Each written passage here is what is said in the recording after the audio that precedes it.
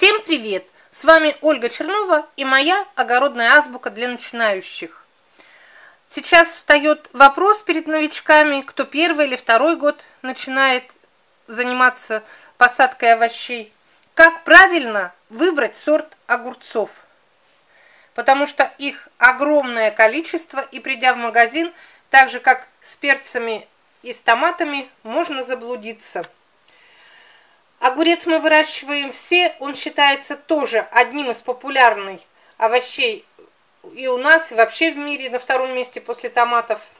Но он еще является и одним из самых полезных. Хотя мы с детства слышим, что он на 96% состоит из воды, но это живая природная вода, в которой содержится много калия.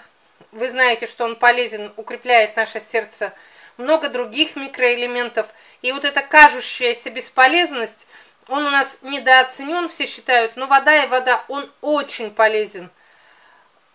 Я не буду вдаваться, но есть исследования, что он нервное возбуждение им лечит, потом кашель, во время кашля какие-то при... делают там всякие настойки. И в косметике отбеливает кожу. Короче, о полезности сегодня говорить не буду, буду только сейчас сконцентрируемся на правильном выборе сорта. Он вкусный и маринованный, и соленый, но для того, чтобы получить качественные, например, маринованные или соленые огурцы, нужно опять же выбрать соответствующий сорт. Конечно, самые вкусные огурцы – это выращенные своими руками, тут никто спорить не будет. Начинаем про выбор семян. Вот приходим в магазин. Магазин предлагает широкий ассортимент. Вот у меня только те, которые я выращивала, садила, а там витрины, они от пола и до потолка все увешаны вот этими пачками. Как выбирать? Они различаются и по сроку созревания, и по массе, и по размеру плодов. Вы должны, придя в магазин, сначала определить, для каких целей вы хотите выбрать вот себе огурец – потому что все опытные садоводы-огородники знают, что сорт семян нужно выбирать в зависимости от условий выращивания. Например, где вы будете выращивать? В открытом грунте, в каком-то парничке, вообще в закрытой теплице, на балконе или на лоджии. В зависимости от условий выращивания огурцы разные. Вот, например, специально вам положила балконный. Для балкона мы выбираем особые сорта – лучше вот эти партенокарпические. Для выращивания на окне и, ну и также подойдут те балконные. Для зимне-весеннего у нас вот зимний, который вы, можно вырастить как в тени при маленьком количестве света. Если вы хотите на открытом грунте выращивать, подойдут и вот такие наши традиционные всякие неженские, монастырские, надежные. Если вы хотите выращивать весной в теплице, то нужно останавливаться обязательно на F1. Вот это первый пункт, что в зависимости от условий выращивания. Второй, вы выбираете по способу опыления. Какой вы хотите взять? Или, само, или пчелоопыляемый, или самоопыляющийся, или партен, партенокарпический, который вообще без опыления. И третий пункт, это сорт вам нужен для засолки или салатный. Для салатных могут подойти и зазуля, и вот такие всякие длинные, у меня сейчас здесь нет под рукой. Но для засолки мы выбираем именно те, которые хороши в засолке. Для засолки многие до сих пор традиционно выращивают только сорта, а не гибриды. Но сейчас уже и много гибридов, которые тоже можно солить. Поэтому нужно заострить свое внимание вот на этом моменте, когда вы покупаете, подойдет ли этот сорт для засолки, если вы хотите солить. Конечно, особенно популярностью особо сейчас пользуются вот эти раннеспелые всякие скороспелые гибриды с повышенной урожайностью. Вот я нынче купила вот эту могучую кучку по 10, по 10 плодов из одной, ну как пучковая зависть. Вот в прошлом году рассказывала про бедретту, тоже вот такие.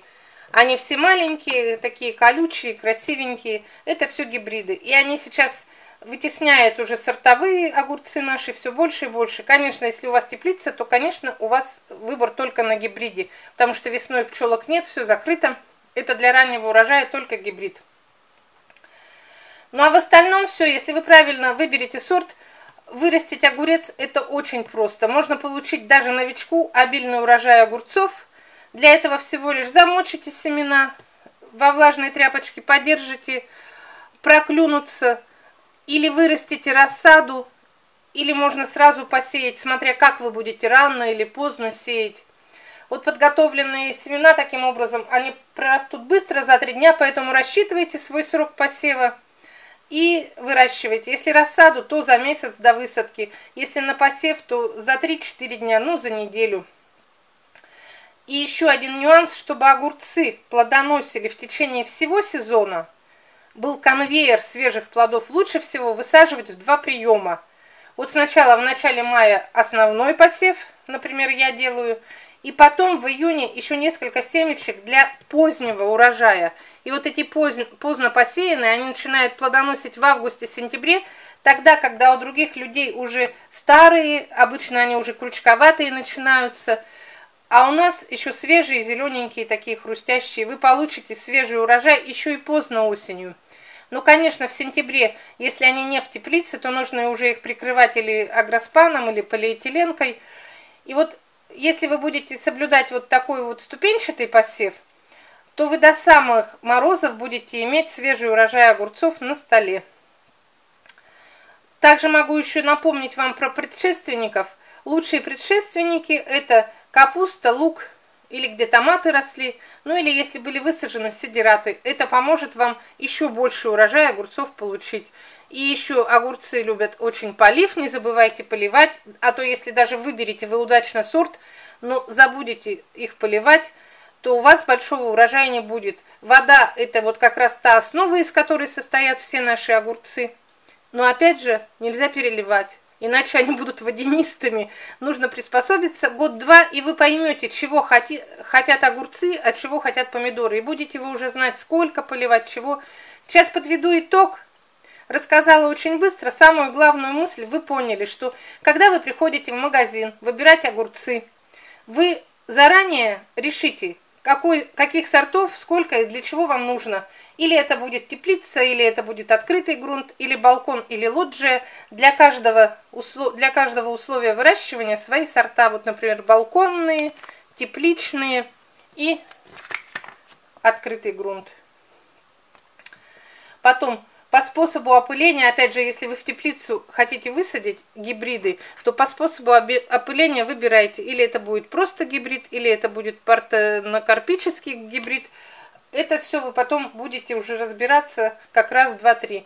И третий пункт. Для засолки вам нужны или для салата. Обычно люди разделяют. Салатовые сорта, они более сладкие, они такие, ну вот как зазуля, они длинные, у них больше масса плода, но для засолки берут маленькие хрустящие вот эти корнишончики.